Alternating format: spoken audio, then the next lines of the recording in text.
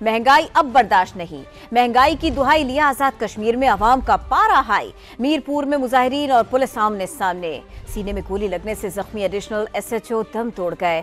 मुश्तैल अफराद ने सरकारी गाड़ी जला डाली। मुजफ्फराबाद का बैंक रोड मैदान जंग बन गया। कहीं पथराव, कहीं शेलिंग, कहीं हालात कशीदा। रावला कोट, कोटली और दीगर शहरों में भी मुजाहरे किए गए। बिजली और आटा सस्ता करने का मुतालबा किया गया। महँगा, बिजली महँगी, मगर जान सस्ती। आज़ाद कश्मीर में महँगाई के खिलाफ एहतजाज हंगामों में तब्दील। पुलिस रोकने आई तो मुजाहिरीन ने आओ देखा न ताओ। सब कुछ तहस नहस कर डाला। सरकारी गाड़ी को जला डाला। पुलिस एहलकार को पहाड़ी से नीचे फेंक दिया।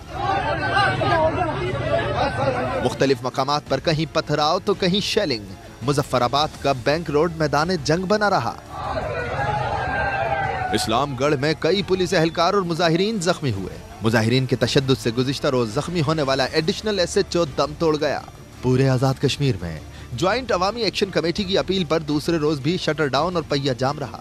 ताजिरों ने मीरपुर से मुजफ्फराबाद की जानब मार्च किया। मुजाहरीन का मुतालबा है कि बिजली सस्ती की जाए, आटे पर सब्सिडी दी जाए और अशराफिया की मरात खत्म की जाए।